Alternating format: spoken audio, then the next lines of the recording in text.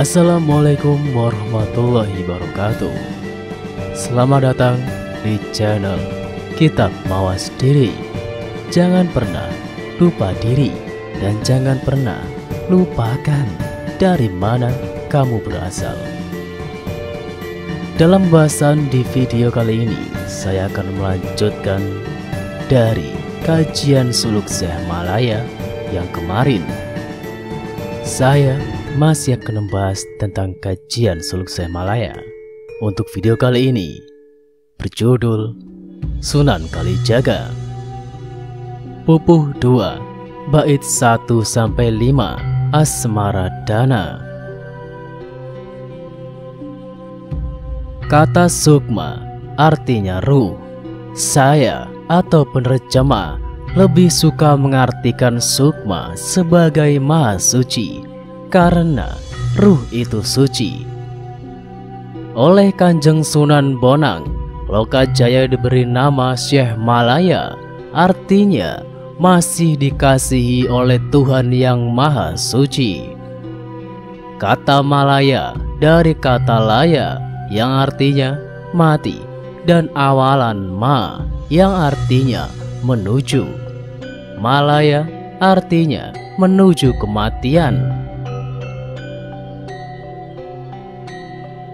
Jika kita perhatikan pertapaan yang dilakukan oleh Lokajaya sungguh berat, pastilah orang biasa akan mati jika melakukan seperti itu. Jadi, pertapaan yang dilakukan seperti sengaja mencari mati atau malaya. Namun Lokajaya masih hidup karena kasih sayang Allah Subhanahu wa taala. Ini cocok dengan perkataan Kanjeng Sunan Bonang berikut. Karena engkau kuat tidak makan minum selama setahun, tanda pertapaanmu diridoi dan dikabulkan. Sunan sendiri mengungkapkan bahwa kekuatan yang diperoleh oleh Lokajaya karena ridho dan seizin Allah, sehingga kuat tidak makan dan minum selama setahun. Juga tidak beristirahat dan bergerak sama sekali. Dia ibarat mati.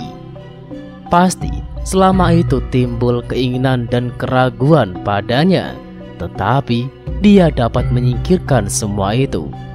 Dirinya sudah tidak peduli lagi dengan nasibnya, yang diinginkan hanyalah diterima taubatnya dia sudah mampu menjalani mati sajroning urip, yakni matinya keinginan dan hawa nafsu. Dan sanggup memenuhi sekehendak Tuan Guru. Loka Jaya tak jua mendapat petunjuk tentang ilmu-ilmu agama yang dilakukan dari awal sampai akhir hanya menjalani bertapa saja selalu saja disuruh bertapa.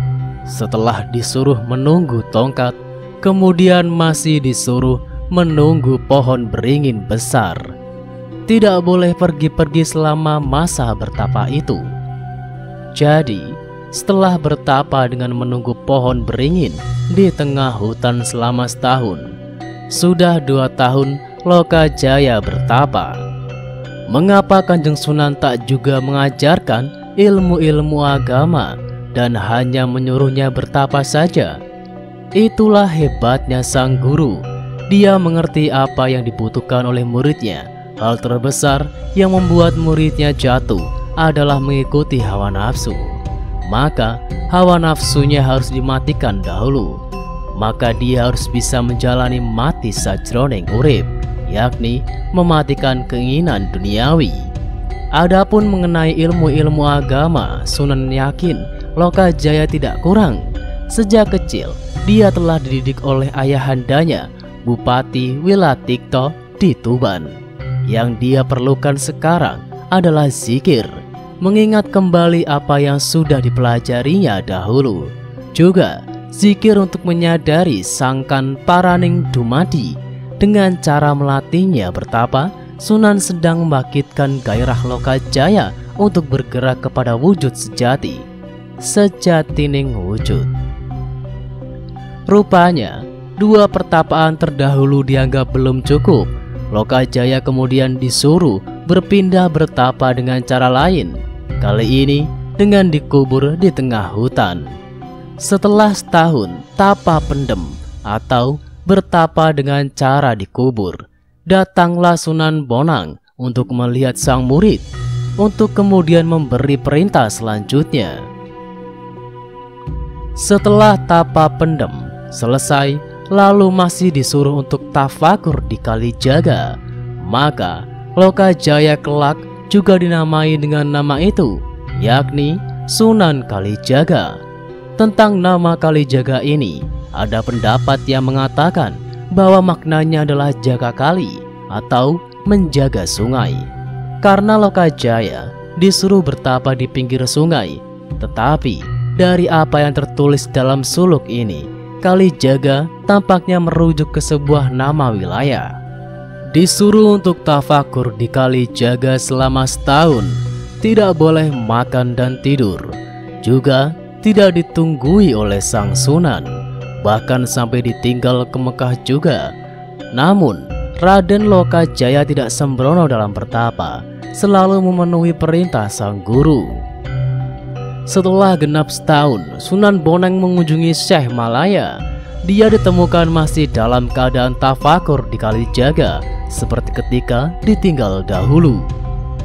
Kanjeng Sunan Bonang melihat kesungguhan bertapa Syekh Malaya, segera memerintahkan untuk berhenti. Pertapaannya dianggap cukup, dan oleh Sunan Bonang beliau diangkat sebagai wali penutup untuk mengenapi Dewan Wali yang bertugas menata agama di Kerajaan Demak. Dewan Wali ini disebut Wali Songo. Mengenai artinya, ada banyak perbedaan pendapat. Ada yang mengatakan bahwa disebut wali, artinya Dewan Wali. Wallahu alam. Kita tidak berkepentingan untuk memperdebatkan itu semua. Kita hanya belajar sastra klasik marilah kita batasi bahasan kita pada apa yang tertulis di sini saja. Adapun keterangan tambahan hanya dipakai sebagai tambahan wawasan.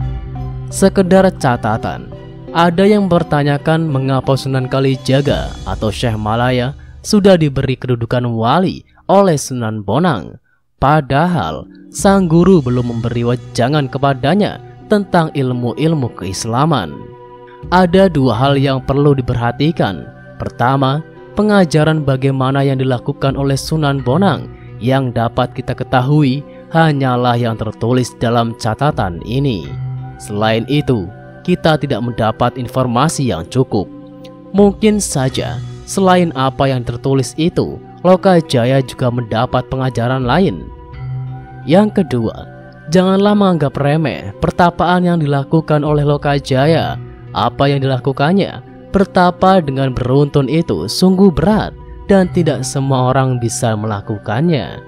Bandingkan dengan orang-orang di masa kini, ketika hidupnya selalu bergelimang dosa, hanya dengan berganti baju dan menyatakan hijrah lalu menjadi seorang ustadz.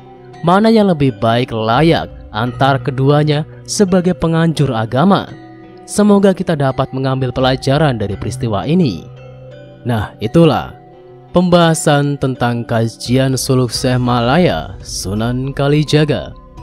Wassalamualaikum warahmatullahi wabarakatuh.